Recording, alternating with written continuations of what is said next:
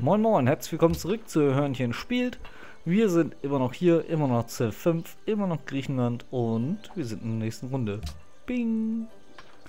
Ja, das, ich habe keine Ahnung, aber es kann natürlich sein, dass es ein bisschen ruckelt in der Aufnahme. Ich habe keinen Plan warum.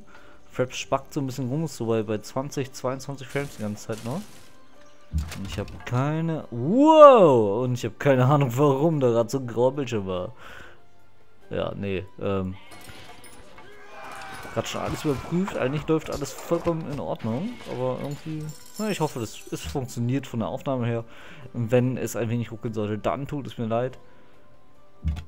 Hey, unser Einfluss ist gestiegen bei Lissabon, weil wir eine Quest erfüllt haben für Lissabon. Wow, okay, ich habe gerade gesagt, das ist ein bisschen groß. Das ist echt ein bisschen groß, ne? Noch auf kleine Reiche. Schweinerei. Ähm. Ein unbekannter Spieler hat das Zeitalter Klassik erreicht. Ja, der da oben und... Ja, der da oben. So. Was wollte ich mit dir machen? Wie ihr seht, äh, wir haben gerade von Lissabon äh, Einfluss bekommen. Also sind jetzt äh, befreundet. Und ja, sie wollen, dass wir ihnen Gold schenken. Das können wir eigentlich machen, weil wir haben genug. Damit wir verbündet sind. Ja, wir sind verbündet. Wir kriegen mehr Nahrung in der Hauptstadt durch ihn. Und die Ressource Färbemittel. Das ist natürlich immer gut. Da können wir auch gleich mal nachgucken. Und zwar steht das da nicht. Warum steht das da nicht? Trägt 6, bla bla, Schatzufriedenheit etc. Okay, keine Ahnung. Vielleicht dauert es vielleicht erst in der nächsten Runde. Ah. 21 gestiegen. Ja, das ist halt ähm, verbindet. Plus 1 in der Hauptstadt an Nahrung. Kultur. Kultur ein einrichten. Das kriegen wir auf jeden Fall hin. Hm, hm, hm. 10% Fernkampfstärke. 50% mehr Gefahrung, äh, Gefahrung, Erfahrung. 15% Kampfstärke für Nahkampfeinheiten, wenn sich in einem benachbarten Geländefeld eine weitere Militäreinheit befindet. Das ist nachher relativ wichtig für den gesamten Kriegverlauf. Allerdings werde ich wohl erstmal hier lang gehen. Legita Legalism Legalismus, hm, schon klar, deutsche Sprache, schwere Sprache, wie immer. Passiert durchaus mal. Äh, Barbarenlager entdeckt. Oh, ich hasse Barbaren im Spiel. Unbekannter Spieler, ja. Und Scout, scoutet mal einen Meter weiter hinten. Die haben Orangen, die Schweine. ähm, ja, dann gehen wir mit unseren Bogenschützen erstmal runter. Immer schön stunk machen. So, wir bewegen uns auch mit unserem Hoplite hier mal ein bisschen an der Karte entlang. Ja, und hier geht's doch weiter. Nur ein Stückchen wahrscheinlich. ein Teil, also ein so, so ein Platz. Ding. Lehre uns bedenken, dass wir sterben müssen, auf dass wir klug werden. Ja, die Bibel, Psalmen 90, 12, ähm, ermöglicht die Einrichtung, die Errichtung von Plantagen für viele Luxusgüter durch Bautrupps, was extrem nützlich für Wachstum und Zufriedenheit ist. Ja. Also wir haben jetzt äh, Stonehill. Stonehill? Freigeschaltet. Ähm, Stonehenge, nicht Stonehill, total dämlich. Wir brauchen noch sechs Runden für die Großbibliothek. Dann können wir die Kaserne meinetwegen auch bauen. Wir können Bibliothek selber kriegen glaube ich, einen zusätzlich. Ja, kostenlose Bibliothek in der Stadt. Ähm, ja, brauchen dann im Endeffekt eigentlich nicht wirklich viel. Wir bauen auf jeden Fall den Kornspeicher für Nahrung. Bananenweizen, Bananen kriegen wir irgendwann. Äh, Weizen da hinten irgendwo. Ja, mal schauen. Hm. Ja, Marmor haben wir doch. Ähm, können wir gleich bebauen. Haben wir, sehr gut. Er ist fertig mit der Mine. Das heißt, wir haben mehr Produktion. Und da wir sowieso im Produktionsfokus sind, immer noch, ja, sind wir, äh, könnten wir eigentlich auch bleiben, weil wir haben super viel Nahrung und so haben wir eine schnellere Produktion von Einheiten und Gebäuden. So.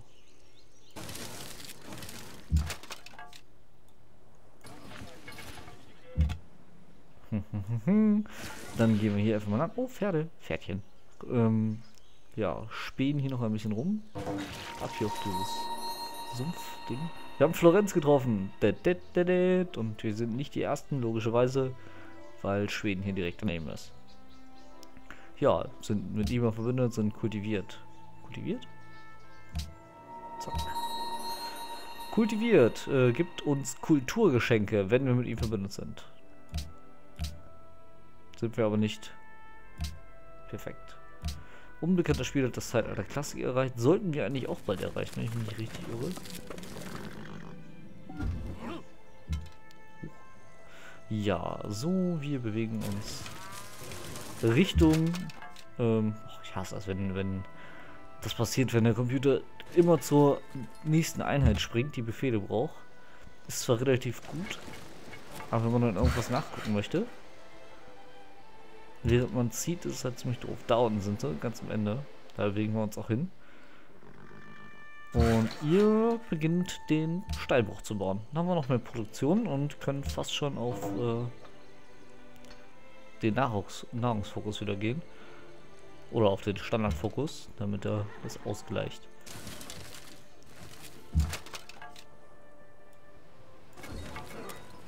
So, hier ist eigentlich nichts mehr. Gut, dann ziehe ich meine Kriege auch zurück. Und habe ich da gerade... Okay, ja, die haben wahrscheinlich Barbaren bekämpft oder sowas. Ich glaube nicht, dass Schweden Florenz bekämpft.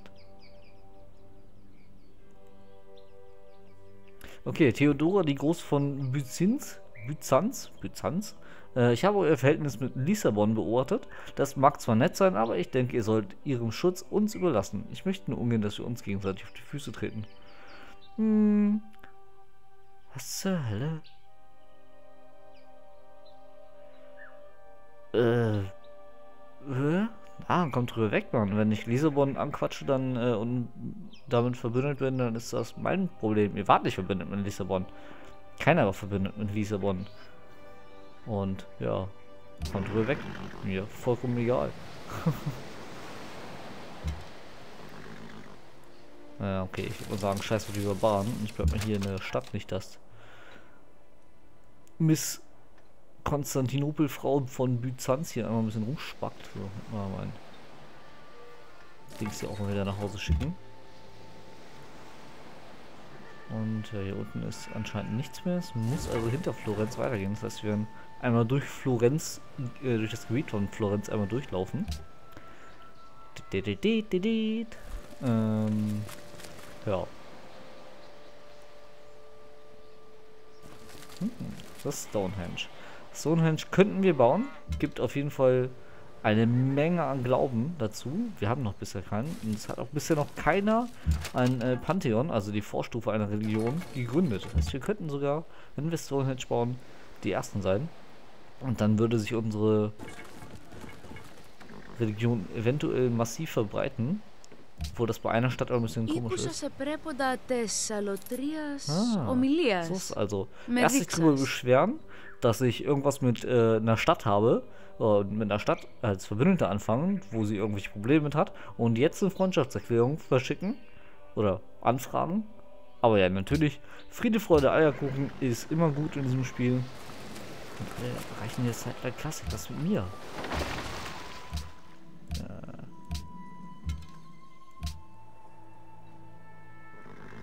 Okay, in mehreren Runden noch. Oh Gott. Ja, ich bin am Arsch aktuell. Aber das ist relativ egal. Ich radiere die Dings unten doch aus, weil wenn jetzt eine Freundschaftserklärung unterschrieben habt, dann muss ich auch nichts befürchten. Außer von diesem Barbaren da oben. Ähm.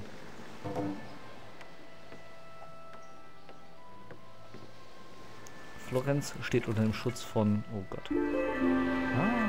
Ich habe Informationen, die hilfreich sein könnten. Bibliotheken sind wie Schreine, wo alle Reliquien der heiligen vergangene Tage sind. Was? Wo alle Reliquien der heiligen vergangene, vergangene Tage voll der wahren Tugend ruhen, ruhen und bewahrt werden. Und zwar ohne Irreführung und Betrug. Sir Francis Bacon.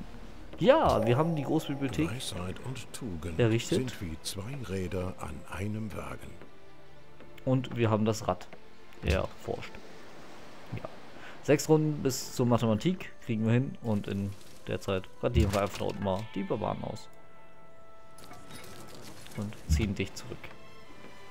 Und du bewegst dich dahin. Und da ist noch ein Stadtstaat. Da ist auch noch ein Stadtstaat. Und wir dürfen eine freie Technologie wählen. Ja, habe ich fast vergessen. Äh, wenn man die große Bibliothek baut, darf man sich äh, eine ja, nächste mögliche freie Technologie auswählen. Und ich würde mal sagen, wir gehen auf, ähm, ne, auf was gehen wir denn? Wir könnten auf die Hochschule gehen, aber, also auf die, aufs Philosoph Philosophie. Aber was ist das weiteste, was entfernt ist? Das können wir nicht, weil da fehlen uns die beiden zu. Mathematik wird gerade erforscht. Ich würde sagen, wir nehmen Eisenverarbeitung, das würde uns 13 Runden dauern ab hier. Äh, und sind auch Sachen bei, die ich auf jeden Fall gebrauchen kann. Also vor allen Dingen Eisen. ja, wir nehmen Eisenverarbeitung. So. Warte mit dem Schlagen nicht, bis das Eisen heiß ist. Erhitze es durch Zuschlagen. Ja, alles klar. Wir haben die Möglichkeit, Schwertkämpfer zu bauen. Wir haben die Möglichkeit, einen Helden-Epos auszubauen. Ähm, und der Koloss, das können wir nicht bauen, glaube ich, weil wir müssen dafür an der Küste Bauzeit. Ich glaube, sind wir nicht. Und wir zeigen uns Eisen auf der Karte Willkommen an. in der Klassik. Und wir sind im Zeitalter Klassik. Endlich! Und wir dürfen ein Pantheon gründen. Das erste. Uhaha. Nee, gar nicht wahr. Die haben auch schon eins. Ich bin doof. Aber erstmal Produktion wählen. Das ist natürlich die beste Variation. Und Fraps geht gerade bei mir massiv runter. Wenn ich mit dem Cursor oben links hingehe, das ist, weil ich die Fraps dann am besten wieder hochschlagen möchte. Na, geht doch. Was wählen wir denn? Wählen wir denn die Pyramiden und Stonehenge?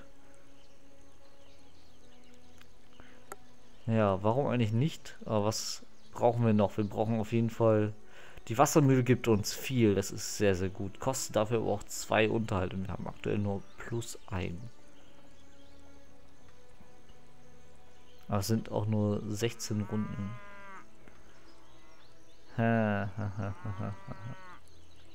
hm. Kultur plus 1 oder plus 5 Glauben pro Runde. Ich nehme Stonehenge, ist sowieso eine Quest von irgendeinem Stadtstaat, ich glaube Florenz. Und ja, gründen wir ein Pantheon. Auf geht's. Und zwar machen wir hier, das sind äh, die halt die Boni plus Kultur plus Produktion etc. Ähm, die kriegt man halt beim Pantheon gründen und nachher gründet man halt eine Region. Und äh, die, die, haben das geändert. Das sah vor ein paar Monaten noch ein bisschen anders aus. Da hat man ein eigenes Fenster gehabt und da konnte man das alles reinpacken. Bin ich komplett irre. Ähm, ja, was nehmen wir? Handelsweg werden wir nicht haben. Das heißt, wir können Wissenschaft als Götterbote hier schon mal ausschließen. Pro Wein und Räucherwerk haben wir beides nicht. Plus eine Zufriedenheit von Städten und Flüssen. Wir haben nur eine Stadt, das heißt, es wäre verschwendet. 15% schnellere Grenzausdehnung. Das wäre doch awesome, weil wir brauchen eh eine, eine größeres Gebiet soll immer größer werden und ich würde gerne das Gold haben, ich würde die Bananen gerne haben, eventuell die Pferde hier unten und die Kühe sowieso. Haben wir eigentlich Eisen hier bei uns? Nee, ne? Fällt mir gerade eben auf. Sheet? Ah, das gibt kaum Eisen auf. Ich kann nicht rüber, weil da das Ding hier hängt. Zurück. Shit, es gibt kaum Eisen hier. Wo bin ich denn? Oder habe ich irgendwas übersehen? Nee, Stein. Normaler Bergbau. Da oben ist Eisen. Konstantinopel hat Eisen. Super. Da ist Eisen. Oh Gott, da ist Eisen. Da oben ist... Äh, das ist ja lächerlich, ist das ja. Und Eisen ist quasi mit einer der wertvollsten Ressourcen. Aber auf jeden Fall wichtigsten am Anfang. Äh, das ist natürlich doof. Das ist richtig, richtig doof. Oh Mann, ey. Das ist richtig doof. Hm, dann nehmen wir die Grenzausdehnung hier erstmal beim Pantheon. Das ist gegründet. Und warten auf die nächste Runde. Kein Eisen. Das ist natürlich richtig, richtig mies. Vielleicht ist hier unten noch irgendwo was, was ich jetzt nicht sehe. Werden wir gleich mal hinlaufen mit unserem Great General. Können wir so weit laufen? Nein. Wir haben Rommel, der große General. Alles klar. Feldherr Rommel. Ähm, ja.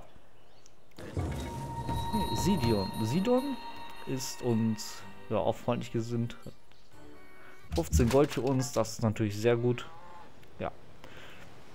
Bevor ich mich weiter darauf, darüber aufrege, dass es keine Eisen gibt, mache ich mal einen Cut. Und würde sagen, wir sehen uns in der nächsten Folge wieder, ne? Viel Spaß noch. Tschüss.